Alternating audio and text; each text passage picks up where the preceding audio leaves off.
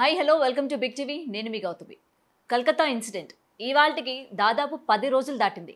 ఎందుకని ఇంకా మిగిలిన నిందితుల్ని పట్టుకోలేదు? అసలు లీగల్గా ఎటువంటి దారి వైపు వెళ్తుంది? సో మొత్తం కూడా తెలుసుకుందాం. అండ్ ఇందులోని ఇప్పటికీ చాలా మందికి చాలా క్వశ్చన్స్ అన్నీ కూడా రైజ్ అవుతా ఉన్నాయి. సో వాటన్నిటి గురించి కూడా మాట్లాడితే మీ వాళ్ళు మనతో పాటు లీగల్ అడ్వైజర్ నాగేశ్వరరావు గారు ఉన్నారు. ఆయనతో మాట్లాడి మరిన్ని విషయాలు అయితే తెలుసుకుందాం. సార్ నమస్తే అండి.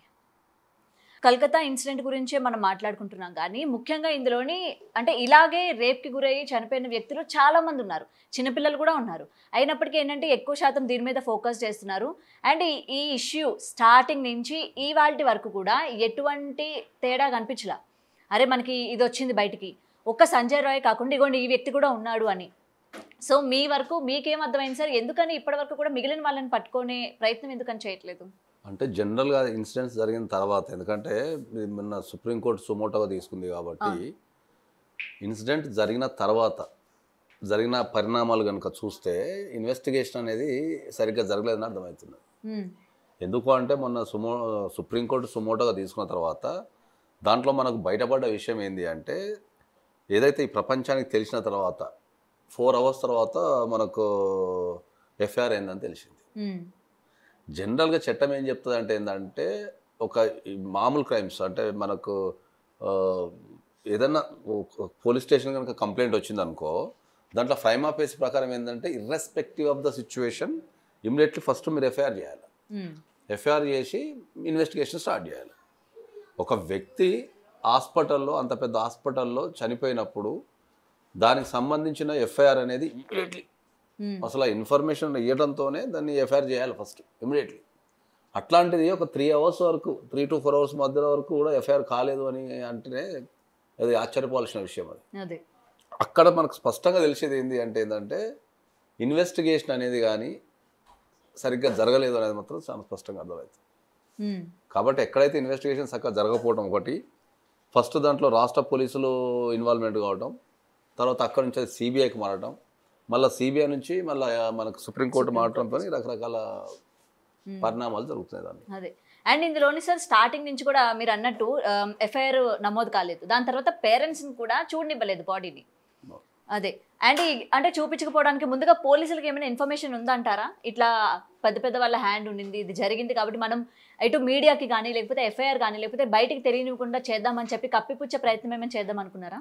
అంటే జనరల్గా అయితే ఒక ఇన్సిడెంట్ జరిగినప్పుడు ఏంటంటే ఆ ఇన్సిడెంట్కి సంబంధించిన పూర్తి సమాచారం వచ్చేంత వరకు మ్మ్. అంటే ఇప్పుడు ఒకటి అక్కడ ఒక అమ్మాయి అక్కడ వాళ్ళ అంటే జనరల్ లెక్క ప్రకారం ఏంటంటే అక్కడ నిర్జీవంగా పడింది కాబట్టి అది సుసైడా లేకపోతే రేప్ చేశారా చంపారా అనేది తెలవనంత కాలం కొద్ది వరకు అయితే హైడ్ చేస్తారు ఇన్వెస్టిగేషన్ ఆఫీసర్ ఎందుకంటే వాళ్ళు ఖచ్చితంగా సమాచారాన్ని పబ్లిక్ ఇవ్వాల్సిన అవసరం ఉంటుంది కాబట్టి కొంతకాలం అయితే వెయిట్ చేస్తారు కానీ ఈ సంఘటనలో ఏంటంటే అక్కడ చూసే వాళ్ళకి ఈజీగా అర్థమవుతుంటుంది. అక్కడ ఎప్పుడైనా సరే ఆత్మహత్య పరిస్థితి అయితే అది కాదు. రెండోది అక్కడ చూసే విధానాన్ని బట్టి కంపల్సరీ అక్కడ రేప్ జరిగిందనే విషయం మామూలు ఒక సాధారణ వ్యక్తికి అర్థమైపోతుంది సో అట్లాంటిది ఇన్వెస్టిగేషన్లో ఉన్న అధికారులకు అర్థం కాకపోవడం ఏంది? లేకపోతే దాన్ని కప్పిపుచ్చడానికి ప్రయత్నించవచ్చు అనేది నా పర్సనల్ అభిప్రాయం. అండ్ సార్ ఆ, ఇంకొకటి మనం చూసుకుంటే ఇందులోని అదే టైంలోని పక్కన రినోవేషన్ పనులు స్టార్ట్ చేయడం. ఇవన్నీ కూడా ఏంటంటే సాక్ష్యాలని మాయం చేద్దాం. అనే తోవలోనే ఉన్నాయి. అండ్ ఇప్పటికీ కూడా సార్ పదకొండు రోజులు అవుతుంది అనుకుంటా పదకొండు పన్నెండు రోజులు అవుతుంది. ఎటువంటిది కూడా లేదు. అండ్ సార్ మీ అంచనా ప్రకారం కేవలం ఇందులో Sanjay Roy one of the main accused లాగా అనుకుంటారా మీరు? ప్రజెంట్ జరిగిన ఇన్వెస్ట్మెంట్ ఇన్వెస్టిగేషన్ ప్రకారం అయితే ఆయన కంపల్సరీ ప్రధాన నిందితుడే కాబట్టి వాళ్ళని ఇమ్మీడియట్లీ అరెస్ట్ చేయడం జరిగింది. సంజయ్ రాయ్తో పాటు నాకు తెలిసి ఇంకా పద్దెనిమిది మందిలో పంతొమ్మిది మంది అరెస్ట్ చేశారు దాంట్లో. రిలేటెడ్ అందరిని అరెస్ట్ చేశారు దాంట్లో. అరెస్ట్ చేశారు ఓకే. మరి ఎందుకని సార్ ఎవరి పేర్లు కానీ లేకపోతే ఎవరు దీనిలోని అంటే ఉన్నారని కానీ ఎందుకని మరి ఎటువంటి సమాచారం ఇవ్వడం లేదు బయటికి? బయటికంటే ఒక కేసు ఇన్వెస్టిగేషన్లో ఉన్నప్పుడు ఎందుకంటే అది ఒక మహిళకు సంబంధించిన విషయము ప్లస్ అంటే దీంట్లో టెక్నికల్గా చూసుకుంటే ఏంటంటే గవర్నమెంట్కి ఇబ్బంది కలిగే ఉద్దేశం ఉందేమో అని చెప్పేసి దాంట్లో సరైన ఇన్ఫర్మేషన్ అది పబ్లిక్ అందటం లేదు. ఎందుకంటే ఒక రాష్ట్రానికి ఒక కలకత్తా అంత పెద్ద సిటీ అది. మన భారతదేశంలో ఉన్న మంచి ఫేమస్ సిటీలో అదొకటి కాబట్టి అక్కడ గవర్నమెంట్ కాబట్టి ఆ గవర్నమెంట్ కానీ ఇబ్బంది కలిగే అవకాశం ఉందేమో అని చెప్పేసి వాళ్ళు. ఇన్వెస్టిగేషన్కి సంబంధించినవి పూర్తిగా రిలీవ్ చేస్తాం లేనట్టు ఓకే. ఓకే అండ్ సార్ ఇవాళ ఏంటంటే ఇన్సిడెంట్ చూసిన తర్వాత ప్రతి ఒక్కరు వాడిని ఎందుకు ఉరి తీయడం లేదు వాడిని ఎందుకు ఉరి తీయడం లేదు అని అంటూ ఉన్నారు. అసలు లీగల్గా ఇట్లాంటి చర్యలు చేపట్టే వ్యక్తిని రెడ్ హ్యాండెడ్గా అంటే ఆన్ ద స్పాట్లో ఉరి చేసే ఉరి తీసే సెక్షన్స్ ఉన్నాయా? లేవు భారతదేశంలో లేవు. అదంతా మీకు యూఏలో ఉన్నాయి. మనకు అరబ్ లాంటి దేశాలలో ఉన్నాయి కానీ మనకి ఇక్కడ లేవు. మన భారతదేశం లేవు. భారతదేశం ఏంటంటే మనది మనకు లా సిస్టమ్ ఏంటంటే రిఫార్మేటివ్ థియరీ అంటాం మనం. అంటే ఏదన్నా ఒక వ్యక్తి తప్పు చేసినప్పుడు ఆ తప్పు చేసినప్పుడు మన పూర్తిగా ట్రయల్ చేసి దానికి సంబంధించిన చర్యలు తీసుకోవాలి. ఒక నార్మల్ తప్పు చేసిండు అనుకుందాం సపోజు వాడిని సంస్కరించి మళ్ళీ సమాజంలోకే పంపాలనేది జనరల్ సిద్ధాంతం మంది. హీనియస్ క్రైమ్స్ అయితే దానికి తగ్గట్టు మన దగ్గర కూడా శిక్షలు ఉన్నాయి. ఇప్పుడు మీరు ఉరి తీయడం గురించి ఆలోచిస్తున్నారు కానీ ఉరి తీసే ముందు కూడా అన్ని చూసి ఉరి తీయాలనేది మన సిద్ధాంతం. సో ఇప్పుడు ఏ కేసులో ఉరి తీయలేదు? భారతదేశంలో ఉరి జరగడం లేదా? ప్రపంచంలో చాలా దేశాలు ఉరిని బ్యాన్ చేసినాయి తెలుసా మీకు? చాలా దేశాలలో ఉరి లేదు. ఇప్పటికీ భారతదేశంలో ఇంకా ఉరేసేసే చట్టం ఉంది మన దగ్గర. కాబట్టి డెఫినెట్లీ శిక్ష కనుక పడితే ఉరి అవకాశాలు ఉంటాయి కంపల్సరీ. కానీ సార్ ఇట్లా ఆడపిల్లల భవిష్యత్తు ఇవాళ అమ్మాయి ఎన్నో కళలతో బయటకు వచ్చింది. ఆ అమ్మాయి కాదు చాలా మంది ఎన్నో కళలతో ఉంటారు. ఇది చేయాలి ఇలాగ సెటిల్ అవ్వాలి అని చెప్పి ఇట్లాంటి వాళ్ళని మధ్యలోనే చిదిమేస్తున్నప్పుడు ఇలాంటి వ్యక్తులకి నడి రోడ్డు పైన ఊరి శిక్ష వేయడం అనేది కరెక్ట్ కాదంటారా? ఇలాగ ఇయర్స్ పాటు వాళ్ళ యొక్క లైఫ్ పీరియడ్ అంటే ప్రొలాంగ్ చేస్తా ఇట్లాంటి ఇయర్స్ పాటు వీళ్ళు ఉండాలి అని చెప్పి లైఫ్ వేయడం కానీ ఇది ఎంతవరకు కరెక్ట్ అంటారు సార్ లీగల్గా పర్సనల్ ఎప్పుడైనా కూడా పర్సనల్ అభిప్రాయం వేరు మనకు సామాజిక అభిప్రాయం వేరు ఉంటుంది ఇప్పుడు ఇటువంటి సంఘటన జరిగినప్పుడు ఎవరైనా కూడా వాడిని ఇమ్మీడియట్లీ చంపేయటమో లేకపోతే వాడిని ఉరి తీయటమో వాడిని ఎన్కౌంటర్ చేయడం అని ప్రతి ఒక్కరి డిమాండ్ ఉంటుంది. ఎందుకంటే వాళ్ళు మానసికంగా ఏంటంటే తట్టుకోలేరు కాబట్టి వాళ్ళు రెస్పాండ్ కావాలి కాబట్టి చేస్తారు. సో చేసినప్పుడు ఏమవుతుంది అంటే ఏంటంటే ఇప్పుడు మీకు మీకు అర్థం కాని క్వశ్చన్ ఏంటంటే వాడిని చంపేస్తే వాడు ఆ పెయిన్ ఒక ఒక క్షణంలో అనుభవించి చచ్చిపోతాడు. వాడిని జైల్లో పెడతాం కదా ఆయన ఎప్పుడు తీస్తావో తెలియక వాడే ఒక పది సంవత్సరాలు చచ్చిపోతాడు జనరల్గా మనిషిని చంపడం చాలా ఈజీ. ఓకే? వాడు ఆ పెయిన్ ఒక్క నిమిషమో రెండు నిమిషాలు మహా అంటే ఒక ఐదు నిమిషాలు పోయి చచ్చిపోతాడు. ఇప్పుడు వాడిని ఇప్పుడు ఈ ట్రయల్స్ పేరు మీద వాడిని జైల్లో పడేసినాం అనుకో వాడిని ఎప్పుడు తీస్తావో తెలియక ఆ మానసిక సంఘటనతో పది సంవత్సరాలు చచ్చిపోతాడు. ప్రతిరోజు చచ్చిపోతాడు. అప్పుడు వాడు రియలైజ్ అవుతాడు దానిపైన. కాబట్టి ఇన్స్టంట్ జస్టిస్ అనేది మన భారతదేశంలో చాలా కష్టం. అండ్ సార్ ఇందులోని ప్రభుత్వం ఏ- విధమైన పరంగా ఉందని చెప్తారు సార్? అసలు రక్షించాల్సిన ప్రభుత్వమే వాళ్ళతో పాటు కలిసి న్యాయం జరగాలి అని చెప్పి ర్యాలీలో పాల్గొనడం అనేది. సో అంటారు? పర్సనల్గా అయితే నేను హర్షించను అది. ఎందుకంటే ఒక రాష్ట్రానికి ఒక మహిళ సీఎం దేశంలో ఉన్న మహిళల్లో అత్యంత శక్తివంతులైన మహిళ మమతా బెనర్జీ. ఓకే? అట్లాంటి సీఎం ఉన్న దేశంలో కూడా ఒక సంఘటన జరిగినప్పుడు ఒక ఇన్వెస్టిగేషన్ కానీ లేకపోతే దర్యాప్తు విధానం కానీ లేకపోతే ప్రజలకు ఇచ్చే మెసేజ్ కూడా రాష్ట్ర ప్రభుత్వం నువ్వు ప్రభుత్వంలో ఉండి నువ్వు ధర్నాలో పాల్గొనటమో లేకపోతే నువ్వు ర్యాలీలో పాల్గొనటం అనేది నేనైతే హర్షించను. ఓకే ఒక మహిళగా ఆమె ఆ రాష్ట్రంలో ఉన్న ప్రతి మహిళకి ఒక భద్రత ఇవ్వాల్సిన బాధ్యత ఒక గౌరవాన్ని రూపొందించాల్సిన బాధ్యత ఆమె పైన ఎప్పటికీ ఉంటుంది. కాబట్టి నాకు తెలిసినంత వరకు అయితే అది ఆ మచ్చ నుంచి చెరిపేసుకోవడానికి ఏది ఆ సంఘటన జరిగింది కదా దాన్ని కప్పిపుచ్చడానికి ఈ ఇన్వెస్టిగేషన్లు ఇవన్నీ జరిగినాయి అనుకుంటా. లేట్ ఎఫ్ఐఆర్ కావచ్చు తర్వాత సరైన ఇన్ఫర్మేషన్ లేకపోవడం కావచ్చు కొన్ని ఏమి జరిగినా పట్టించుకోకపోవడం కావచ్చు. మ్మ్. కొన్ని పరిణామాలు జరిగిపోయి వెనక ఉన్న వాళ్ళని కాపాడే ప్రయత్నం కూడా అనుకోవచ్చా సార్ మరి? ఎవ్వరు ఎవరిని కాపాడుకున్నా కూడా చట్టం దృష్టి నుంచి ఎవ్వరు తప్పించుకోలేడు మ్మ్. ఓకే? న్యాయం జరగడం లేట్ అయిద్దేమో తప్ప న్యాయం జరగకుండా ఉండదు. కాబట్టి కష్టం. ఓకే. ఇప్పుడు మీరు అన్నారు కదా న్యాయం జరగడం లేట్ అవ్వచ్చు కానీ న్యాయం మాత్రం తప్పకుండా జరుగుతుందని. ఇందాక మనం మాట్లాడుకున్నాం. ఆమె పేరు ఏంటి సార్ అసలు? ఫార్టీ టూ ఇయర్స్ బెడ్ మీద ఉంది కదా. మరి ఆమె విషయంలో అది న్యాయమే అంటారా? అండ్ రీసెంట్గా ఇది మనకి బయటకు వచ్చింది కదా. గత నైన్టీన్ సెవెంటీ లేదు అది అది. బాంబేలో నర్సు అది రీసెంట్గా ఏం లేదు అది.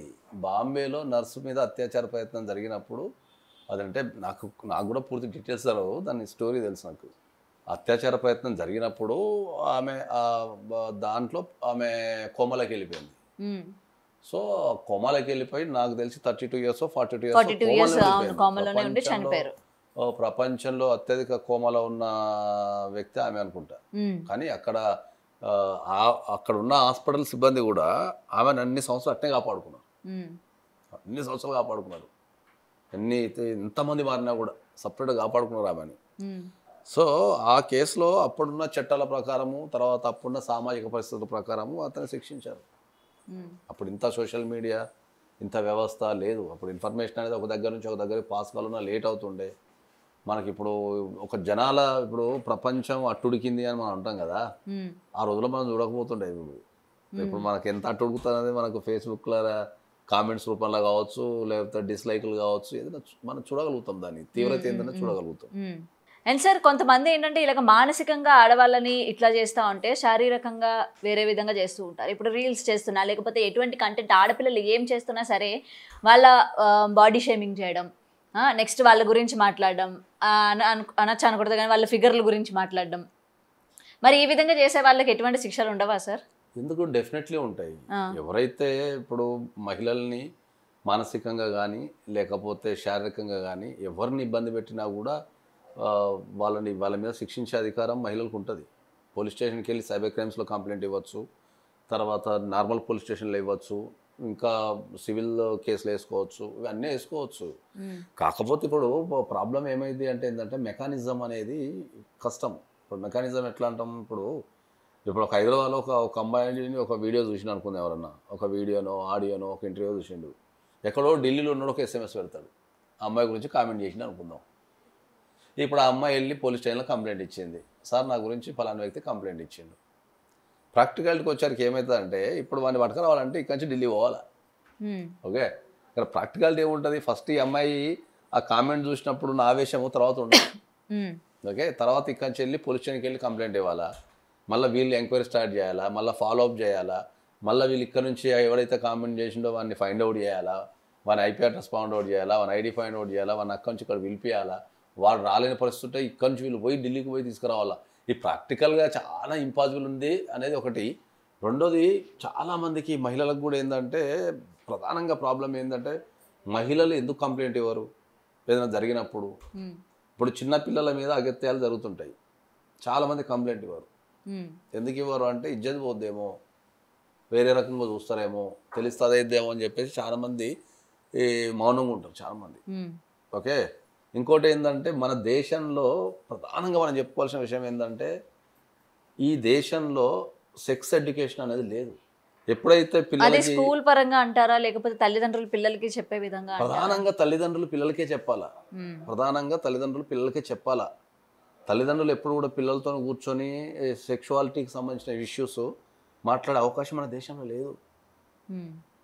చెప్తున్న అర్థం చేసుకునే వాళ్ళు లేరు ఎవరన్నా ఒక అబ్బాయి ఒక స్కూల్లోనో ఒక కాలేజీలోనో ఆమెకు ఏమైనా ఇబ్బంది కలిగితే వాళ్ళు వచ్చి తల్లిదండ్రులు చెప్పుకున్నా దాన్ని అర్థం చేసుకునే శక్తి లేని తల్లిదండ్రులు చాలా మంది ఉన్నారు.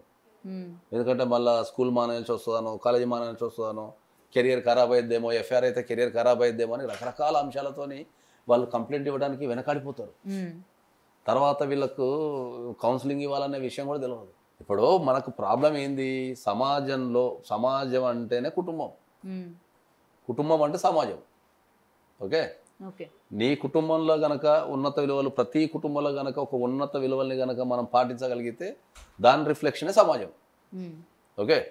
ఇప్పుడున్న మనకి న్యూక్లియర్ ఫ్యామిలీస్తోని మనకు ఒక మంచి చెడు చెప్పగలిగేది ఎవరు? చెప్పండి పిల్లల్ని కూర్చోబెట్టి ఒక మంచి చెడు చెప్పగలిగేది ఎవరు? పూర్వకాలంలో అంటే మీకు వచ్చేసి మనకు ఉమ్మడి కుటుంబాలు ఉంటుండే. వాళ్ళు ఒక ఏజ్ వచ్చిన తర్వాత వాళ్ళ జీవితాన్ని అంతా అనుభవించిన తర్వాత వాళ్ళు రెస్ట్ తీసుకొని వాళ్ళు ఇంట్లో కూర్చొని ఇంట్లో జరిగే పరిస్థితులన్నీ గమనిస్తుండేవాళ్ళు.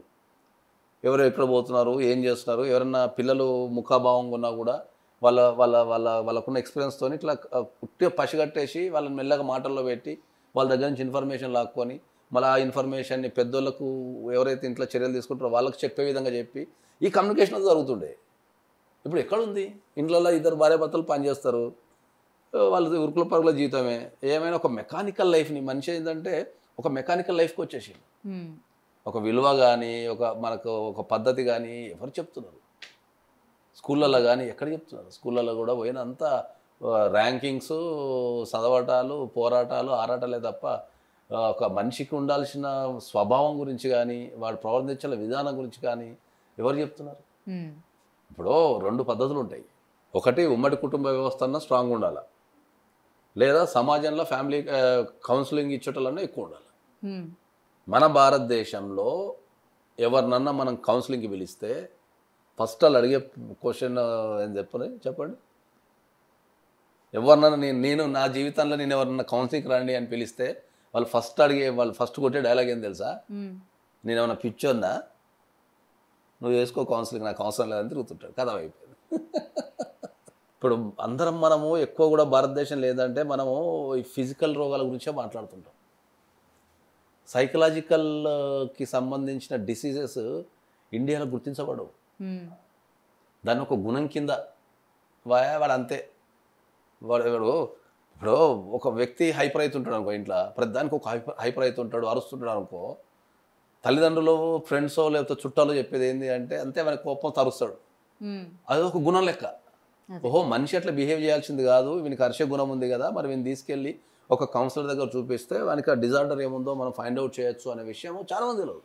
సో ఒక ప్రతి వ్యక్తిలో ఉన్న చిన్న చిన్న లోపాలని కానీ ఆ వ్యక్తి బిహేవియర్ని కానీ వాని గుణమంతే అని మనం వదిలిపెట్టేస్తుంటాం కానీ మరి వానికి మనం ప్రాపర్ కౌన్సిలింగ్ ఇవ్వాలా? మరి వాడిని కూర్చోబెట్టాలా? డిస్కస్ చేయాలనే విధానం లేదు ఇండియాలో. అదే. కుటుంబాలలో.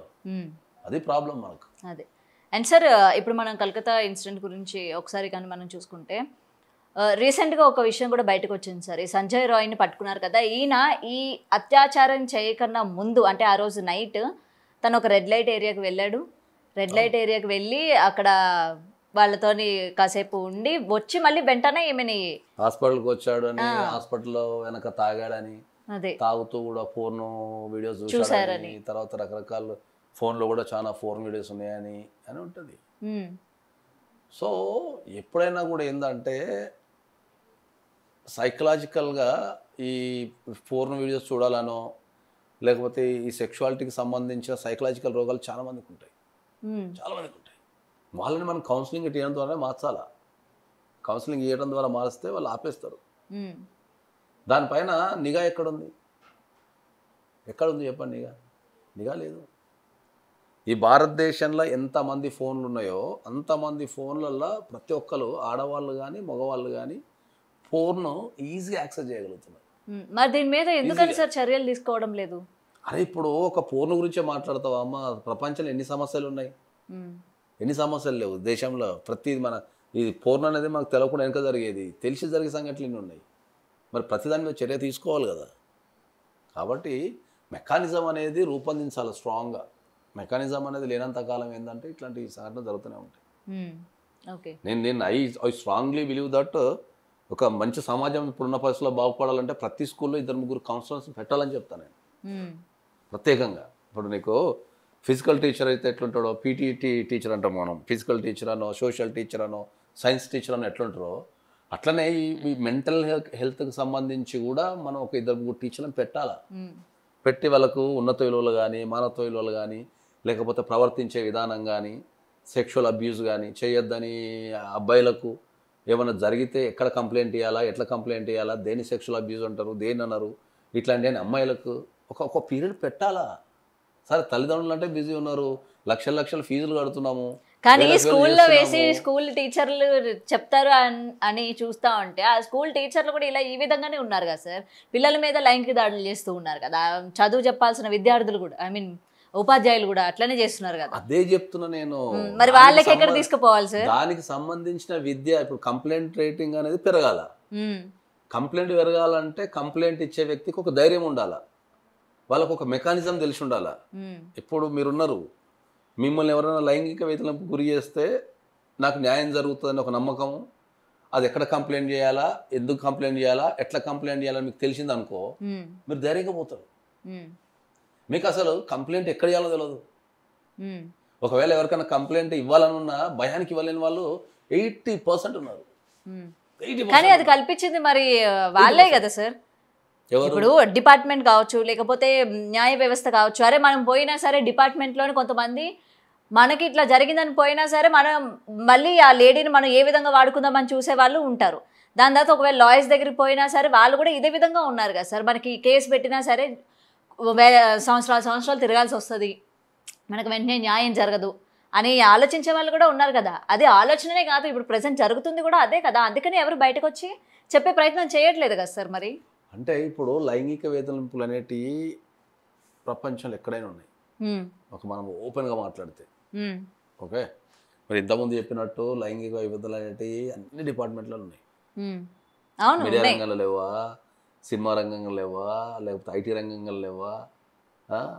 పొలిటీషియన్స్లలో లేవా? లేకపోతే పోలీసులలో లేవా? లేకపోతే మనం న్యూస్ చూస్తుంటాం కదా. పొలిటికల్లో న్యూస్ చూస్తుంటాము సినిమా రంగంలో న్యూస్ చూస్తుంటాము. మీడియా రంగంలో అంటే తక్కువ ఉన్నాయి. ఎందుకంటే డిఫరెంట్ ఇష్యూస్ ఉండొచ్చు కానీ అన్ని అన్ని రంగాలలో ఉన్నాయి. ఐటీలో ఉన్నాయి. అన్ని ఉన్నాయి. ఉమ్. వాటి మీద ఉమెన్ ఫైటింగ్ చేయాలా? ఉమ్. ఉమెన్ ఫైటింగ్ చేయాలంటే మీరు అన్నట్టు వాళ్ళకి ఇప్పుడు ఒక ఒక కేసు ఇప్పుడు ఒక నువ్వు కంప్లైంట్ ఇస్తానికి జనరల్గా పోలీస్ స్టేషన్ పోయినావు. అక్కడ ఎవరన్నా కం అక్కడ ఎవరన్నా నీకు లైంగిక వేధింపులకు బాధపడితే మళ్ళీ నెక్స్ట్ లెవెల్కి వెళ్ళు. దట్స్ వాట్ ఐమ్ టెలింగ్ అందుకనే కదా గవర్నమెంట్ అందుకనే అందుకనే గవర్నమెంట్ మనకు మహిళా పోలీస్ స్టేషన్లు పెట్టింది. తర్వాత ఇంకా మహిళలకు సంబంధించి షీ టీమ్స్ అని పెట్టింది. వాళ్ళు కూడా చేయగలిగినంత చేస్తున్నారు. కంప్లైంట్లు ఎక్కువ అయిపోయినాయి వాళ్ళు కూడా ఏం చేస్తారు? ఎంతకాలం మరి ఇక్కడ? కంప్లైంట్లు ఎందుకని సార్ ఎక్కువ అవుతున్నాయి? ఇక్కడ మరి ఆ క్వశ్చన్ కూడా రైజ్ ఇంతసేపు అవుతా ఉంది కదా. అదే అమ్మా నీకు. కాదు కాదు. అంటే యాక్సెప్ట్ చేస్తున్నట్ట? అందరం కలిసి కంప్లైంట్లు పెరుగుతున్నాయి అంటున్నాం కానీ కంప్లైంట్లకు మూల కారణం కుటుంబమే అని చెప్తున్నా. ఇంతసేపు చెప్పేది అదే. ఇంత వ్యవస్థని ఆర్గనైజ్ చేయటం కష్టం. సో ఆ మార్పు అనేది కుటుంబం నుంచే రావాలా. ఎప్పుడైతే కుటుంబం నుంచి వస్తుందో అప్పుడు జీవిత విధానం మారుతుంది. కుటుంబం అనేది మనిషికి ప్రాథమిక పాఠశాల. అక్కడ ఎట్లా మాట్లాడాలా అనేది తల్లిదండ్రులు నేర్పాల సమాజాన్ని నేర్పాల. ఆ నేర్పినప్పుడే మనం నేర్చుకుంటాం. కల్చర్ అనేది కల్చర్ అనే పదం ఇప్పుడు మన చిన్నప్పుడు ఎవరైనా ఇంటికి ఆడవాళ్ళు వస్తే ఎంబటే అక్కనో జనరల్ ఇప్పుడు పెళ్ళైన వాళ్ళు వస్తారు తెలుసా లేకపోతే ఇంట్లో వయసున్న వాళ్ళు వస్తే అక్క చెల్ల ఏమంటే అక్కను పిలిపించుకోవడం లేకపోతే ఏదో చేస్తారు. ఎందుకు ఎదుటి. వ్యక్తిని చూసినప్పుడు ఏ రకమైన ఫీలింగ్స్ రావద్దు. ఓకే అనే ఉద్దేశంతో మనకు పూర్వకాలంలో ఏంటంటే ఇంటికి వెళ్ళంగానే ఒక ఒక సంబంధం ఒక మంచి అన్నా రిలేషన్షిప్ అది చేసేసి వాళ్ళని అట్లా పిలుస్తారు. అన్నానో చెల్లానో పిలుస్తారు అట్లా సో ఆ పిలుపు ఎందుకు పెడతారు అంటే ఏంటంటే మనము ఏదన్నా మన మనసులో బ్యాడ్ థాట్ ఉన్నా అరే మనం చెల్లా అని పిలిచినాం కదా లేకపోతే అన్న అని పిలిచినాం కదా అనేది అది దూరం చేసుకోవడానికి ఆ- ఫీలింగ్స్ చంపడానికి పెడతారు అది జనరల్గా. ఇప్పుడు అంత హాయ్ బాయ్లు ఫ్రెండ్స్ అనే కల్చర్ వచ్చేసిన తర్వాత ఇంకేమున్నది అండ్ సార్ ఇప్పటి వరకు మనం ఓకే మీరు అన్నట్టు నైతిక విలువలు అన్నీ కూడా కుటుంబం నుంచే స్టార్ట్ చేయాలి పిల్లలకి నేర్పించాలి అని అన్నారు కదా. సో ఇది మనం పక్కన పెడితే రీసెంట్గా అంటే ముఖ్య అంటే మోస్ట్ ఆఫ్ ద మనం చూస్తున్నాం చిన్నపిల్లల మీద లైంగిక దాడులు అని అవని ఇవని అసలు బస్ స్టాపుల్లోని బస్ స్టాండ్ల్లోని లేకపోతే బస్సు నడుస్తున్న బస్సుల్లోని ఇట్లా మొత్తం కూడా ఎక్కడికక్కడ మరి జరుగుతూ ఉంది కదా. మరి ఇప్పుడు మనం కుటుంబాల్లో నేర్పిస్తే వీళ్ళ జనరేషన్ వచ్చేసరికి మారుతుంది అంటారా మరి మనకి ఇప్పుడు కదా మారాలి. ఇప్పటికి ఇన్స్టంట్గా మారాలంటే ఎవరికి వాళ్ళే మారాలని చెప్తున్నా కదా నేను. కానీ అది కష్టం కదా సార్. అదే మారాలని చెప్తే ఎందుకు అనుకుంటే ఏదైనా అవుతుంది ఇప్పుడు నేను నేను ఒక విషయం అడుగుతున్నా. కలకత్తా ఇన్సిడెంట్ జరిగింది. దేశంలో ఉన్న అన్ని టీవీ ఛానళ్ళు కానీ లేదంటే వెబ్ ఛానల్ కానీ మనం ప్రింట్ మీడియా కానీ నేను ప్రతిరోజు ఒక గంట సేపు చూస్తా. ఓకే. దేశంలో ఏం జరుగుతున్నది అనేది ఒక రోజు ఒక గంట అయితే కంపల్సరీ చూస్తా. ఎందుకంటే నేను అడ్వకేట్ ప్రొఫెషన్లో ఉన్నా కాబట్టి. నాకు సమాజం మీద అవగాహన కోసం కావచ్చు తర్వాత ఇతర విషయాల మీద కావచ్చు సమాజంలో ఏం జరుగుతుందో తెలుసుకోవడానికి ఒక గంట సేపు ఉంటా. ఉమ్, ఎక్కడ కూడా ఒక టీవీ ఛానల్ కానీ ఒక ప్రింట్ మీడియా కానీ దీన్ని ఇటువంటివి జరగకుండా నిరోధించడానికి ఏం చేయాలనే విషయాన్ని ఒక్కరు కూడా మాట్లాడుతాను ఎవరైనా సరే దాన్ని క్యాష్ చేసేసుకొని ఇట్లా జరిగిందంట అట్లా జరిగిందంట ఇదంట అదంట అని హ్యూమన్ ఎమోషన్స్ని క్యాచ్ చేస్తున్నారు తప్ప మరి ఇటువంటి సంఘటనలు జరగకుండా మనం నిరోధిద్దాం మనం నిలబడదాం అని చెప్పి ఒక్కలన్నా పిలిపిస్తున్నారా? ఒక్కలన్నా పిలిపిస్తున్నారా? ఇదే మీడియా ఛానళ్ళు ఇదే ఎలక్ట్రానిక్ మీడియా కావచ్చు ప్రింట్ మీడియా కావచ్చు మీరు పదే పదే ఎందుకు చెప్పరు? దీన్ని నిరోధించుకోవడానికి కావాలని చర్యల గురించి మీరు చెప్తూ చెప్తూ వాడు పడ్డ శిక్షలు ఎందుకు చెప్పరు? ఒక కలకత్తా సంఘటన జరిగిందని మాట్లాడుతున్నారు కానీ మరి ఒక నిర్భయ జరిగినప్పుడు ఒక శిక్ష ఏం పడ్డది ఎందుకు చెప్పరు? లేకపోతే దాన్ని చెప్పే విధానం చూడు. లేట్ అయిపోయింది నిర్భయాల నిర్భయాల ఉరి శిక్ష వేశారు ఉమ్, లేకపోతే ఇన్స్టంట్ జస్టిస్ కింద కాల్ చేశారు అంటే ఒక వాక్ అది కూడా చెప్తలేరు. ఓకే? Hmm. మీరు దానన్న హైలైట్ చేస్తే ఇంకా వేరేటోనన్న భయం పోతుంది కదా? వేరేటోనికి ఆలోచన ఉంటే తగ్గిపోతుంది కదా? ఉమ్, మీరు పదే పదే గుర్తు చేయాలా? మనం ప్రతిసారి మనం ఇళ్ళల్లో అన్నిటికీ ఎందుకు గుర్తు చేస్తుంటాం. కానీ ఇక్కడ మీరు అన్నారు కదా చెప్పాలి జనాలకి తెలియాలి ఎవరెవరికి ఎటువంటి శిక్షలు పడ్డాయో ఇట్లాంటి కేసెస్లో? తెలియాలి అని చెప్పారు కదా. కానీ అది ఎన్నాళ్ళకి పడింది? అన్నది ఇక్కడ వాళ్ళు నోటీస్ చేస్తారు. ఓకే చెప్పినప్పటికీ సరే శిక్ష చేసిన వాడు వాడికి ఎన్నాళ్ళకి శిక్ష పడింది? ఎప్పటికి శిక్ష పడింది? దేశంలో ఉన్న ఒక్క కేసుని ఉదాహరణ కింద తీసుకొని చెప్తున్నారు. నాకు తెలిసి దేశంలో ఫాస్ట్ ట్రాక్ కోర్స్ ఉన్నాయి. ఫాస్ట్ ట్రాక్ కోర్ట్స్ ఉన్నాయి. ఓకే? ఓకే. ఒక ప్రాసెస్ ప్రకారం కనుక కరెక్ట్ వెళ్ళగలిగితే వన్ ఇయర్లో పడుతుంది. వరంగల్లో అనుకుంటా ఒక చిన్న పిల్ల మీద అత్యాచారం చేసిన కేసులో నాకు తెలిసి నైంటీ డేస్లో వానికి ఉరిశిక్ష చేశారు అనుకుంటా. అది మైనర్ అయినా సరే వేస్తారా సార్ మరి ఉరి శిక్ష మైనర్ మైనర్కి మనకు చట్టాలు కొద్దిగా తేడా ఉన్నాయి కదా. అది ఆలోచించే విధానంలో తేడా ఉంటుంది కాబట్టి మైనర్ కొన్ని ఫెసిలిటీస్ ఉన్నాయి కాబట్టి మైనర్ కురి శిక్ష చేయకపోవచ్చు కానీ జీవిత గారు శిక్ష ఇస్తారు. మరి మరి వరంగల్లో జరిగిన కేసుని ఒక నైంటీ డేస్లో నాకు తెలిసి సెన్సేషన్లో ఒక నైంటీ డేస్లో దాన్ని ట్రయల్స్ పూర్తి చేసి అక్కడ ఆ వ్యక్తికి శిక్ష చేశారు. మరి దాన్ని ఎందుకు హైలైట్ చేయరు మీరంతా? ఇప్పుడు జనాలు. జనాల మైండ్ సెట్ అంటే నేను నేను ఏ విధంగా ఆలోచిస్తాను చెప్తాను. మీ గురించి చెప్తా మీ మీడియా గురించి చెప్తా. సార్ నేను తెల్లవారు మీడియాలోనే ఉంటా ఇది ఎవరు తప్పు పట్టద్దు. ఓకే. మీరు జనాల మైండ్ సెట్ బట్టి వార్తలు ఇస్తున్నారు. జనాలను మార్చడానికి వార్తలు ఇస్తలేరు మీరు. జనాలకు ఏం కావాలో ఇచ్చేస్తున్నారు మీరు. ఓకే. రోజు తాగేటోనికి రోజు మందు పోసేస్తే వాడు రోజు తాగుతాడు. వాడికి- చెప్పాల్సింది ఇప్పుడు మీరు రోజు తాగొద్దురా అయ్యా తాగితే జీవితాలు ఖరాబ్ అయితే అని చెప్తే వాడు ఏదో ఒక రోజు మారుతాడు. మీరు వాడికి తాగుడు ఇష్టం సార్ అని చెప్పి మీరు రోజు మందు పోస్తున్నారు దానికి. అట్లనే మీరు కూడా ఏం వార్తలు ఇస్తున్నారు? వాటినే వాళ్ళు బుర్రలోకి ఎక్కించుకుంటాడు. ఇప్పుడు నేనంటే నాకు నాకంటే ఒక నలభై సంవత్సరాలు ఉన్నాయి. నాకు నేను రకరకాల పరిస్థితులు పెరిగినా కాబట్టి నాకు సమాజం మీద అవగాహన ఉన్నది. ఏది మంచి ఏది చెడు అని. ఇప్పుడు మా అబ్బాయి ఉన్నాడు అనుకుందాం సపోజ్ వాడు వాని ఏజ్ ఒక ఫిఫ్టీన్ టు సెవెంటీన్ ఇయర్స్ ఉన్నాయి వానికి ఇప్పుడు. సెవెంటీన్ ఇయర్స్లో పిల్లగానికి మీరు ఏం ఎక్కిస్తే అది ఎక్కించుకుంటాడు అంటే బయట జరిగేదే కదా సార్ చెప్పేది మేము? బయట జరిగే విధానాన్ని వేరేగా చెప్పండి అని చెప్తున్నా నేను. ఉమ్, ఆ విధానానికి కొద్దిగా సామాజిక బాధ్యత వహించండి అని చెప్తున్నా నేను.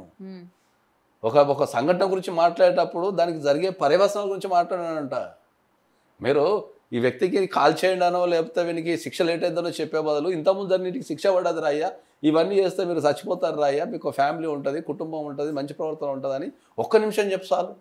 లేకపోతే ఈ వార్త చదివే ముందు ఈ ఒక్క నిమిషం చెప్పి నీకు నచ్చింది వేసుకో. డిస్క్లైమర్ వేయచ్చు కదా. ప్రపంచం ప్రతిదానికి ఒక డిస్క్లైమర్ వేస్తాం కదా. సిగరెట్ తాగేటప్పుడు ఇది మంచిది కాదనో మందు తాగేటప్పుడు మంచిది కాదనో సినిమా చూసేటప్పుడు మంచిది అని వేస్తున్నప్పుడు మీరు ఎక్కువ ఏదైతే యాక్సెప్ట్ చేస్తారో అక్కడ వేయండి. ఆడపిల్లల మీద చెయ్యొద్దు చేస్తే శిక్షలు పడతాయని చెప్పి ఒక నిమిషం ఒక థర్టీ సెకండ్స్ చెప్పి మిగతా స్టోరీ చెప్పేసుకోండి. ఏమైనా అది ఏం జరిగిందని ఒక ఆడపిల్ల జీవితాన్ని తీసుకొచ్చేసి ఒక ఆమె కనుక అసలు ఈ మీ బతుకుండి ఈ మీడియా ఉంటే ఆమె ఆమె ఆత్మహత్య చచ్చిపోద్దాం అనిపించింది నాకైతే. ఉమ్, చాలా మంది చాలా ఇంటర్వ్యూలలో ఏమేమో మాట్లాడుతున్నారు తెలిసి మాట్లాడుతున్నారా తెలవక మాట్లాడుతున్నారా అనేది మనం ఏమంటాం వాళ్ళని? నేను చెప్పేది ఒకటే ఇవన్నీ తగ్గాలి అంటే సమాజంలో మార్పు తప్ప నీకు ఏ గవర్నమెంటో లేకపోతే చట్టాలో ఇవన్నీ సెకండరీ గవర్నమెంట్ అయినా చట్టాలైనా సెకండరీ నేను చెప్పేది ఏంటంటే నీకు నువ్వు మార్చుకో ఫస్ట్ నీకు నువ్వు మార్చుకో ఫస్ట్ ఓకే మీకు మీకు నీకు కథ నాకు స్టోరీ చెప్తాను నేను. ఉమ్, సామాన్య వ్యక్తుల గురించి మీరు ఓ చేస్తున్నారు కదా ఓ అది అని ఇదని ఏదో అని ఇదని చేస్తున్నారు కదా. నాకు తెలిసిన ఒక టాప్ మోస్ట్ టీవీ యాంకర్ ఉంది. Um, okay? ఒక టాప్ మోస్ట్ టీవీ యాంకర్ ఉంది. ఆ అమ్మాయి బ్రేవ్ అంటే మనకు చాలా బ్రేవ్ గర్ల్ లేకపోతే మంచి అమ్మాయి అనేది ఉంది. ఆమెకి సామాజిక బాధ్యత ఉంది అన్నీ ఉన్నాయి. ఆమె కులిగి ఎవరో ఆమె కాల్ చేసేసి నాకు ఇట్లా పలానోడు ఇట్లా ఆఫీస్లో ఇబ్బంది పెడుతుండంటే ఆఫీస్ మానేయి లేకపోతే లైట్ తీసుకో. కంప్లైంట్ అని చెప్పు. కంప్లైంట్ ఇయ్యి నీ వెనక నేను నిలబడతా వాడిని కూర్చొని మాట్లాడతా అది చేయడం తప్ప అని చెప్పు. అక్కడ వచ్చిన సలహాలు ఏమున్నాయి ఇక్కడ ఏ మానే వేరే దగ్గర జాబ్ చూసుకో దరిద్రంతో అంటే ఆ బ్రేవ్నెస్ సలహా ఇచ్చే దాంట్లో కనిపించలేదు. మరి అదే కదా సామాజిక బాధ్యత అంటే నేను చెప్పేది. దట్ ఈస్ ద సామాజిక బాధ్యత. నువ్వు తెర మీద నువ్వు ఖతర్నాక్ ధైర్యంగా ఉంటావు ప్రజలకి ఎడ్యుకేషన్ చేస్తున్నావు ప్రజల గురించి పోరాడుతున్నావు కదా. ఆ పోరాటమే నిత్య జీవితంలో ఎందుకు లేదు అంటున్నా నేను. నీకే లేనప్పుడు సామాన్య వ్యక్తికి ఏడు ఉంటుంది నువ్వు చెప్పాల్సిన విషయం ఏముంటుంది? ఎస్ వాని మీద కంప్లైంట్ ఇద్దాం రా నేను తీసుకపోతాను చేయబట్టి తీసుకపోవాలా? వాడిని పది మంది నిలబెట్టు క్వశ్చన్ చెయ్యి. అంతేగాని వాళ్ళ కొలిక్కి ప్రాబ్లం వచ్చినప్పుడు వద్దులే నువ్వు ఆఫీస్ మానేసేయి లేకపోతే వేరే దగ్గర జాబ్ చూసుకో ఇగ్నోర్ చేసేయి బ్లాక్ చేసేయి ఇవి ఆన్సర్లు కాదు. ఎవరన్నా మహిళల మీద అఘాయిత్యం జరిగినప్పుడు లేకపోతే వాళ్ళకు ఎగెనిస్ట్ నన్ను చాలామంది అడుగుతున్నారు సార్ ఈ అందరు చేసేది అఘాయిత్యమే కదా అంటారు. మహిళల మీద అఘాయిత్యం అంటే ఏం తెలుసా? మీనింగ్ తెలుసు అసలు? నేను ఒక్క వాక్యంలో చెప్తాను ఉమ్, వాళ్ళ ఇష్టానికి వ్యతిరేకంగా ప్రవర్తించడం అఘాయిత్యం. వాళ్ళ ఇష్టానికి వ్యతిరేక వ్యతిరేకంగా ప్రయత్నించగలం అది అఘాయిత్యం కాదు అది. నువ్వు ఒక అమ్మాయికి ప్రపోజ్ చేస్తావు. వద్దు అన్నది. వదిలిపెట్టాలి అంతే ఇంకా. మన రెండోసారి చేస్తావు చూడు అది అఘాయిత్యం. ఓకే? ప్రపోజ్ చేయడం తప్పు కాదు. నువ్వు రెండోసారి రిపీటెడ్ చేస్తావు చూడు లేకపోతే దాన్ని ఏదో రకంగా బెదిరిస్తావు చూడు లేకపోతే ఏదో రకంగా కొట్టడానికి ట్రై చేస్తావు చూడు ఏదో రకం అది అది అది ఉమ్, అందుకే ఒక్కసారి ఆ సినిమాలో నో మీన్స్ నో అంటే ఒక్కసారి నో అంటే నువ్వు ఆ గౌరవాన్ని ఉంచేసుకున్నావు అనుకో వాళ్ళు లైఫ్ టైం నువ్వు లవ్ చేసేస్తారు. నువ్వు వాళ్ళ అభిప్రాయానికి విలువనియకుండా లేకపోతే వాళ్ళని ప్రశాంతంగా ఉండనియకుండా వాళ్ళకి ఎగెనిస్ట్ ఏది చేసినా సరే అది. అది ప్రపోజల్ అయినా సరే అది ఏదైనా సరే మహిళలకు ఎగెనిస్ట్ వాళ్ళకి ఇష్టం లేకుండా ఏది చేసినా కూడా దాన్ని అఘాయిత్యం అని అంటాను అదే అఘాయిత్యం ఇంకా. ఈ అఘాయిత్యమే రేపు పొద్దుగాల మనకి ఈ రేంజ్కి మారుతుంది. ఉమ్, అది వాళ్ళకు మనం వాళ్ళ అభిప్రాయానికి గౌరవించినంత కాలం వాళ్ళని మనం తోటి మనిషిగా చూడ చూసినంత కాలం మనకు అసలు దేశంలో క్రైమ్ జరగదు. Against women. చట్టాల మీద అవగాహన లేదు. చట్టాల మీద అవగాహన లేదు. నాకు ఎంత బాధ అనిపిస్తుంది అంటే వీళ్ళు చదువుల కోసం తెగ చదివేస్తారు ర్యాంకులు తెచ్చేసుకుంటారు ఫ్లైట్లు నడిపేస్తారు. అప్పుడప్పుడైతే నేను అప్పుడప్పుడు ఫ్లైట్లో పోతుంటే లేడీ ఫ్లైట్స్ కనిపిస్తే నాకు ఎక్కలేని ఉత్సాహం వస్తుంది. వాళ్ళంతా టీవీగా ఇట్లా నడుస్తున్నాయి ఆ డ్రెస్ వేసుకొని నడుస్తుంటే అసలు అబ్బాయి భలే నడుస్తారు అనిపిస్తుంది? వాళ్ళకు కూడా చట్టాల మీద అవగాహన లేదు. ఎక్కడుంది? మనకు ఒక చట్టం ఉంది ఇండీసెంట్ రిప్రజెంటేషన్ ఆఫ్ ఉమెన్ అని. Indecent representation women act nineteen eighty six అనుకుంటాయి వచ్చిన చట్టం. ఓకే. ఆ చట్టం ఉందనే విషయము నేను దగ్గర దగ్గర ఒక నాకు తెలిసిన ఎంతమంది జర్నలిస్టులు ఉన్నారో ఒక వంద మందిని అడిగాను నేను దాన్ని. మీరు చెప్పినంత వరకు నాకు తెలుసు సార్. అదే లేడీ చెప్తున్నా. అయ్యండి నాకు నువ్వు కూడా లేడీ తెలియదు జర్నలిస్ట్ అయి ఉన్నావు. నీకు ఆ దేశంలో ఒక చట్టం ఉంది. ఒక మహిళని ఎట్లా చూపించాలా ఎట్లా చూపించొద్దు? వాళ్ళకి వాళ్ళకి సంబంధించి పబ్లిసిటీ ఎట్లా చేయాలా ఎట్లా చేయొద్దు? వాళ్ళని ఎట్లా మంచిగా చూపించాలా వాళ్ళని ఎట్లా చూపించద్దు అనే చట్టం ఉంది దేశంలో. మరి సెన్సార్ బోర్డుకు తెలుసా? లేకపోతే నటించే నేను నాకు నాకు నాకు పరిచయం ఉన్న ఒక ఏడెనిమిది మంది హీరోయిన్లు అడిగిన తెలుసా? అవునా సార్ చట్టం ఉందా అంటున్నారు వాళ్ళు. అమ్మ నీకు ఒక పీడిఎఫ్ పంపితే చదువుకో అని చెప్పి. అరే సార్ ఇంత బ్యూటిఫుల్ చట్టం కదా మాకు తెలియదు సార్ అంటారు. చట్టం కింద కంప్లీట్ లేవు ఒకటి. ఇంతెందుకు? నిన్న మన కేరళలో వచ్చిన అది రిపోర్ట్ ఏదో ఉంది. ఏం రిపోర్ట్ ఉంది అది? నిన్న కేరళలో వచ్చింది నేను చదివిన. కేరళ సినిమా ఇండస్ట్రీలో మహిళల మీద జరుగుతున్న దారుణాల గురించి టూ థౌజండ్ సెవెంటీన్లో అనుకుంటా ఒక కమిటీ వేశారు. ఆ కమిటీ పేరు ఏదో ఉంది. ఓకే?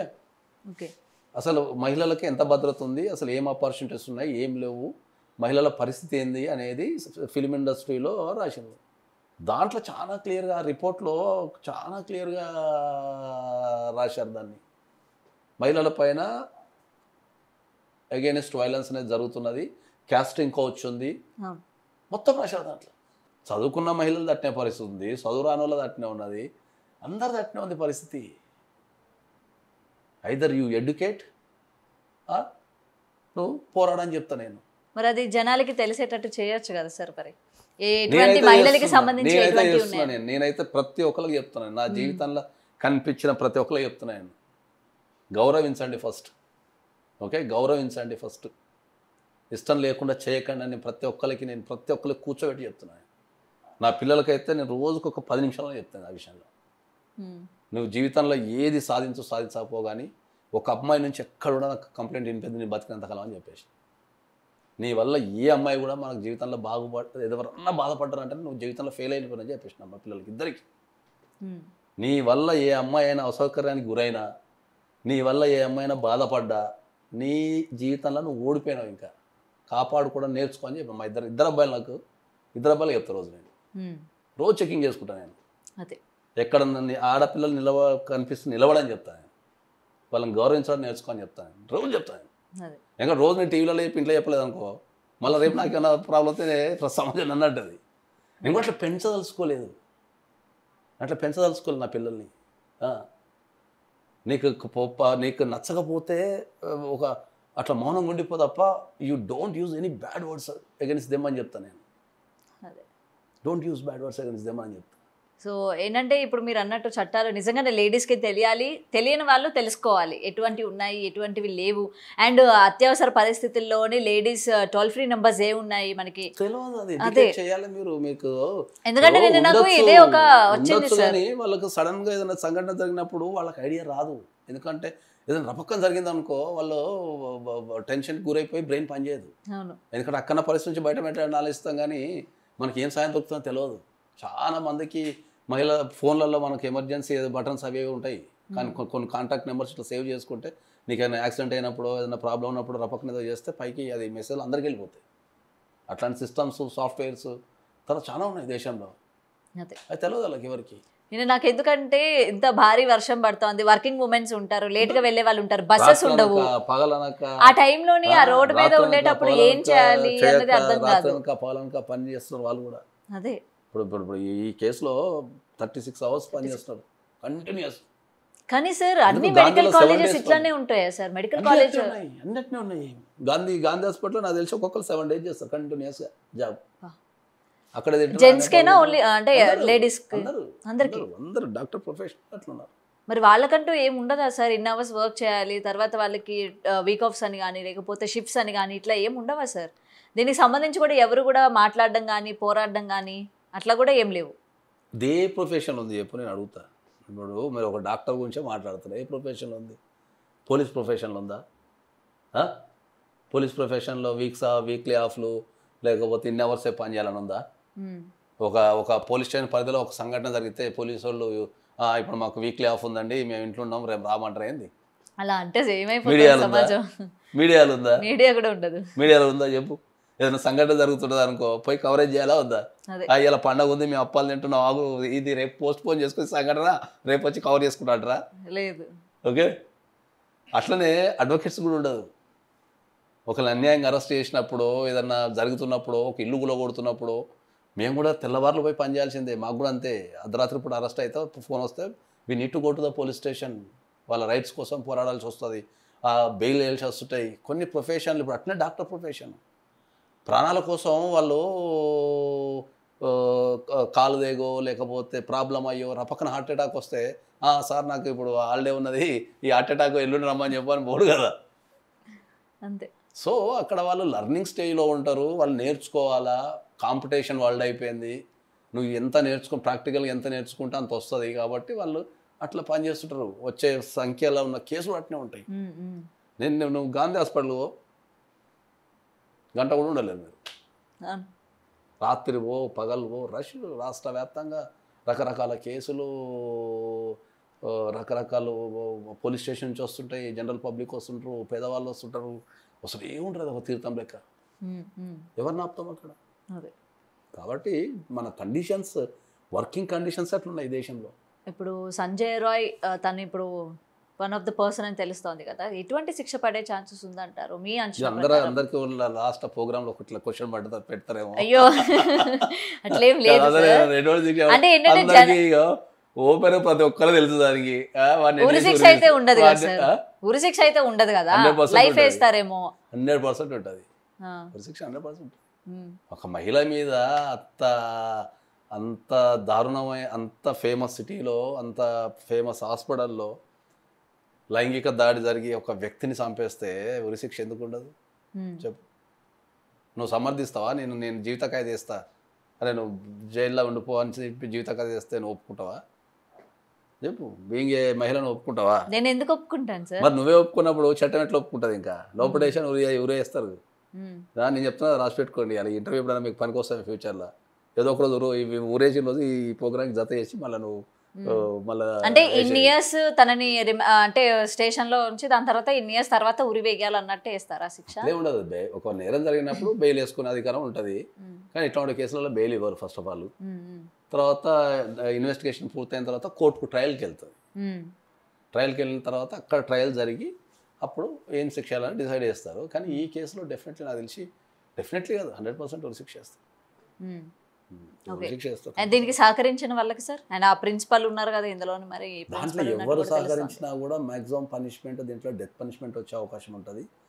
ఇంకేమైనా ఇండైరెక్ట్గా సహకరిస్తే ఇంకేమైనా చేస్తే దాంట్లో లైఫ్ టైం పనిష్మెంట్ పడే అవకాశం ఉంటుంది. ఉమ్. ఉరిశిక్ష వేయాలా చట్టపరంగా ఉరిశిక్ష వేయాలి ఇన్స్టంట్ జస్టిస్ కాదు. నువ్వు ప్రూవ్ చేసి ఒక ఆడపిల్ల జీవితాన్ని ఖరాబ్ చేసినందుకు చంపేసినందుకు కంపల్సరీ ఉరిశిక్ష వేయాలి దాంట్లో? వేరే ఆప్షన్ ఏం లేదు దానికి. ఓకే కాబట్టి డెఫినెట్లీ అది ఉరిశిక్షకు తగ్గ కేసు అది. దాంట్లో జీవిత ఖైదీన మాట లేదు.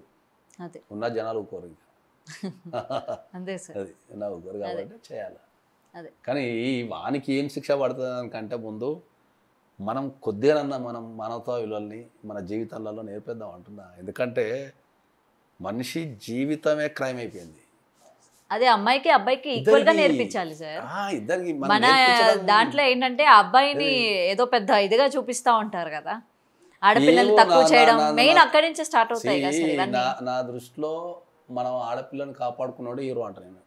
అంతే సార్ జనరల్ నా నా- నేను ఒకటే కోరుకుంటా ఏంటంటే ఏ ఆడపిల్లైనా సరే ఎవరైనా ఒక మొగని గురించి ఆలోచించినప్పుడు అరే వాడరా మంచి అంటే అనుకుంటే కథం వాడు వాడు కింగ్ వాడు లైఫ్లో. ఇంట్లో ఉన్న అమ్మనైనా అక్కనైనా చెల్లెనైనా లేకపోతే మనకు కొలీగ్స్ ఉన్నా గర్ల్ ఫ్రెండ్ ఉన్నా కూడా you need to treat him treat them as a queen. వాళ్ళు ఇబ్బంది పడ్డారంటే నువ్వు ఫెయిల్ అంట నేను. ఇక ప్రతి రిలేషన్షిప్ ఎనీ రిలేషన్షిప్ కావచ్చు అమ్మ అమ్మ రిలేషన్షిప్ కావచ్చు లేదా సిస్టర్ కొన్ని డిఫరెన్సెస్ అంటే మనిషి వేరు వేరు ఉంటారు కాబట్టి డిఫరెన్సెస్ ఉంటాయి. డిఫరెన్సెస్ ఉండటం వేరు వైలెన్స్ వేరు. వైలెన్స్ వేరు అందులో మళ్ళీ సెక్సువల్ వైలెన్స్ వేరు ఇంకా. Sexual violence is most danger okay అది అది ఎవరికైనా ఉంది అంటే మనం వాళ్ళని ముగ్గ మొగ్గ నుంచి తుంచేయాలి వాళ్ళని ఇంకా. ఉమ్. అట్లా. అది ఎప్పుడు సాధ్యమవుతుంది అంటే మన కుటుంబంలో వాళ్ళకి ఎక్స్ప్లెయిన్ చేసి గౌరవించాలన్న రోజు సాధ్యమవుతుంది. ఎవరు మాట్లాడుతున్నారు పిల్లలతో చెప్పండి. ఎవరు మాట్లాడుతున్నారు కుటుంబాలల్లో? ఇప్పుడు ఎంతమంది ఉంటే అంతమంది ఫోన్లు పట్టుకొని పిల్లలు కూడా ఫోన్లు పట్టుకొని టీవీ చూసుకుంటారు మెకానికల్ అయిపోయింది లైఫ్ ఆ మెకానిజం నుంచి ఏంటంటే రిలేషన్షిప్ ఎట్లుందంటే I will tell you one thing. బుర్రలో ఒక వ్యక్తితో మాట్లాడుతుంటే అది రికార్డ్ చేయాలనే స్థాయి ఉంది తప్ప ఇంత ఏం మాట్లాడుతున్నా ఆలో ఆలోచించే స్థాయిలో లేడు ఎవడు. అంతే సార్. ఏంటంటే పొద్దున ఎట్లా ఉపయోగపడతాయి? పోయినావు అనుకో ఇప్పుడు ఏం రికార్డ్ చేయాలా? అనే ఒక కాన్సెప్ట్ ఉంది కానీ మరి పోలీస్ స్టేషన్ పోయినా నా సమస్య ఉంది నేను పోరాడతా లేదు ఇక. ఓ సాక్ష్యం సంపాదించాలా? ఓ అడ్వకేట్ ఆఫీస్ పోయినావు అనుకో సేమ్ పరిస్థితి. చెప్పు సార్ ఏం చెప్పిండు? రికార్డ్ చేయాలా? పెట్టుకోవాలా. తర్వాత మనకు జనరల్గా ఏ లవర్స్ అయినా సరే ఫోన్లు రికార్డ్ చేసుకోవాలా? సాక్ష్యాల దగ్గర పెట్టుకోవాలి కదా. ప్రోగ్రామ్ పెట్టుకున్నప్పుడు నువ్వు ఇంకా జీవితాన్ని ఏం చేస్తావు నాకు అర్థం కాదు. ప్రతి రిలేషన్షిప్లో నువ్వు కాల్ చేసుడు రికార్డ్ చేసుడు దాచుకోండు. కాల్ చేసుడు రికార్డ్ చేసుడు దాచుకోండు. ఇక నువ్వు జీవితాన్ని ఏం ఎంజాయ్ చేస్తావు కాబట్టి మనిషి జీవిత విధానం ఏంటంటే ఎన్ని రిలేషన్షిప్లో ఈవెన్ ఎవరితో మాట్లాడినా కాల్ మంచి ఏదైనా పాయింట్ దొరికి ప్రతి ప్రతి ఫోన్లో రికార్డ్ పెడుతున్నారు. కథం దాన్ని స్టోర్ చేస్తున్నారు. వానికి ఆ రికార్డ్ చేసి స్టోర్ చేసిన మీద శ్రద్ధ శ్రద్ధ ఆ రిలేషన్ని కాపాడుకోవాలని ఉంటే సగం సమస్య అక్కడే సాల్వ్ అయిపోతుంది. ఆ రిలేషన్ కాపాడుకుంటే చాలు అంటే సగం సమస్య అనే సాల్వ్ అయిపోతుంది. వాళ్ళు రికార్డ్ చేయడాన్ని ఏం చేస్తారు? వ్యక్తితో కన్వర్షన్ ఏం చేయలేరు. మాట్లాడే విధానాన్ని ఏం చేయలేరు. ఇప్పుడు ఈ నెక్స్ట్ క్వశ్చన్ ఎవరితో రికార్డ్ అవుతుంది?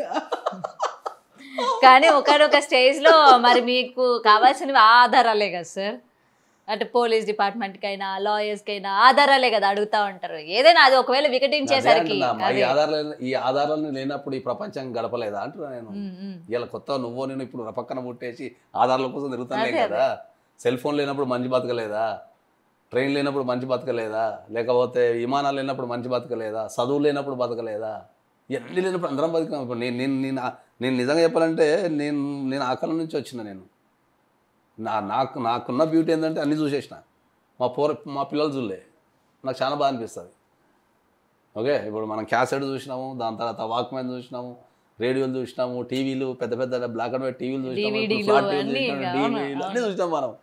వీళ్ళకి ఏం తెలియదు అప్పుడు నా చిన్నప్పుడు ఒక వ్యక్తితో మాట్లాడాలంటే ఎక్కడో ఒక వరంగల్ ఉన్న వ్యక్తితో మాట్లాడాలంటే హైదరాబాద్ నుంచి మనం లెటర్ రాయాలి. లెటర్ రాసి ఒక సెవెన్ డేస్ వెయిట్ చేయాలి. ఈ లెటర్ అటు పోవాలా? అక్కడ నుంచి మళ్ళీ ఒక రిప్లై రావాలి. ఇక్కడ మనిషి అమ్మ ఈ లెటర్ పోయింది వాడు చదువుకున్నాడు కంపల్సరీ రిప్లై వస్తాను వెయిట్ చేస్తుండే. అది మంచి అయినా చెడైనా వాళ్ళు రిప్లై ఇస్తుండే.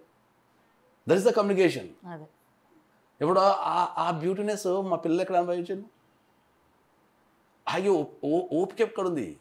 ఏదైనా మనకి క్విక్గా అయిపోవాలి. అదే కదా చెప్పేది. కాబట్టి ఇటువంటి నేరాలు మళ్ళీ ఎప్పుడు కూడా జరగద్దు అంటే ప్రతి ఒక్కరు బాధ్యత తీసుకోవాలా? మీరు బాధ్యత సోషల్ మీడియాలో తీసుకుంటారు మీ ఇంట్లో తీసుకోవటంలే ఉమ్, ఓ ఫోన్ పట్టుకొని సోషల్ మీడియాలో తీసుకొని సోషల్ మీడియాలో అరిచి సోషల్ మీడియాలో మీరు హీరో కింద గుర్తించబడటానికి ఏదో చేస్తారు తప్ప ఫస్ట్ సోషల్ మీడియాలో కూడా మీరు బాధ్యత ఇంట్లో తీసుకోవాలా? మగపిల్లలకు నేర్పాలా? అట్ ద సేమ్ టైం ఆడపిల్లలకు నేర్పాలా? ఇద్దరికి నేర్పాలా? ఇద్దరిని ఈక్వల్గా పెంచాలా? ఇద్దరికి సేమ్ ఉమ్, ఇద్దరి వ్యవస్థ ఇద్దరు సేమ్ అని చెప్పగలగాలి. అది చెప్పగలిగిన రోజే ఈ సమాజంలో క్రైమ్ అనేది మాయమవుతుంది అదే. నువ్వు చెప్పనంత కాలం అది నువ్వు చెప్పనంత కాలం ఇంకా అదృష్టం బాగుండి ఇంకో పది సంవత్సరాలతో మనం కలిసినా కూడా మళ్ళీ ఇట్లాంటి ఇంకో ఐదు సంఘటనలు జరిగే ఉంటాయి. అది మనం చిన్న కుటుంబమైనా పేదరికమైనా కోటేశ్వరుడైనా సరే బిహేవియరల్ ఇష్యూస్ అనేది కుటుంబంలోనే నేర్పుతారు. అది నేర్పాల్సిన బాధ్యత ప్రతి వ్యక్తి మీద ఉంది. ప్రతి కుటుంబంలో ఉన్న హెడ్ మీద ఉంటుంది. వాళ్ళని కూర్చోబెట్టుకోగలిగి ఈ రోజుకి మన దేశంలో నువ్వు ఎగేనిస్ట్ మీకు తెలవని విషయం ఏంటంటే ఎగేనిస్ట్ సెక్షువల్ అబ్యూజే మాట్లాడుతున్నారు కదా. మన భారతదేశంలో ఇప్పటికీ పరుహత్యలు జరుగుతాయి తెలుసా? పరుహత్యలు తెలుసా మీకు? ఆనర్ కిల్లింగ్ అంటాం. ఓకే. వేరే కులం వాళ్ళని చేసుకున్నారని చెప్పేసి అమ్మాయిని సొంత తల్లిదండ్రులు చంపేస్తారు. మరి దాని గురించి ఎవడు మాట్లాడాలి? సరే కలకత్తా ఇష్యూ అంటే ఇద్దరు సంబంధం లేని వ్యక్తులు సెక్షువల్ అబ్యూస్ జరిగింది ఏదో ఎమోషన్ అయిపోయింది కదా. మరి మనము హానర్ కిల్లింగ్ అంటాం కదా. హానర్ కిల్లింగ్ అంటే ఏంటంటే మన కడుపులో పుట్టిన మన బిడ్డని మనం చదివిపించుకొని మనం సేవలు చేసి వాళ్ళ చిన్నప్పటి నుంచి సాది సాకి చేసి ఇవాళ ఎవరో ఒక అబ్బాయిని చేసుకుంటే ఎవరో ఒక అబ్బాయిని చేసుకుంటే వాడిని మాకు మాకు మన కులం కాని వ్యక్తిని చేసుకున్నావా అని నిర్దాక్షిణంగా చంపే వ్యవస్థనే మనాలి మళ్ళీ అప్పుడు కూడా మళ్ళీ మీరు మళ్ళీ ఏ ఛానల్స్ మళ్ళీ ఇదే మీడియా సేమ్ మళ్ళీ సేమ్ కవర్ తెచ్చుకుంటే తిరుగుతుంటానండి ఇక. ఎట్లా చంపిండు ఏడ చంపిండు ఏడ పోయిండు అది కాదురా అయ్యా జనాలకు కావాల్సింది. ఎడ్యుకేట్ దేమ్ మహిళలకి మీరు ఎడ్యుకేషన్ ఇవ్వండి ఆ మగవాళ్ళు మారాలని చెప్పండి. అది అది నేరానికి మూలాన్ని కనిపెట్టండి అంటే నేను. నేరం జరిగిన విధానాన్ని కాదు మీరు వివరించాల్సింది. ఆ నేరం మళ్ళీ ఫ్యూచర్లో జరగకుండా ఉండే విధానాన్ని కనిపెట్టు నువ్వు సో ఇదే సార్ ఏదైనా సరే ఆమెకి న్యాయం జరగాలి. అండ్ ఇందులోని ఇంకా చాలా మంది ఇన్వాల్వ్ అయి ఉన్నారు అని తెలుస్తుంది కాబట్టి వాళ్ళని కూడా ప్రభుత్వం పోలీస్ డిపార్ట్మెంట్ త్వరగా వీళ్ళని కూడా బయటకు తీసుకొచ్చి మీరు అన్నట్టు ఉరిశిక్ష తప్పకుండా వేస్తారు అన్నారు. జనాలందరూ కూడా అదే కోరుకుంటున్నారు. మరి చూడాలి సార్ నిజంగా వేస్తారా వేరా అన్నది కూడా. అండ్ ఇటువంటి ఇన్సిడెంట్స్ జరగకూడదు అని కోరుకోవడం తప్ప ఇంకేది కూడా చేయలేకపోతున్నాం. Anyway thank you so much sir. For more videos like this subscribe Big TV channel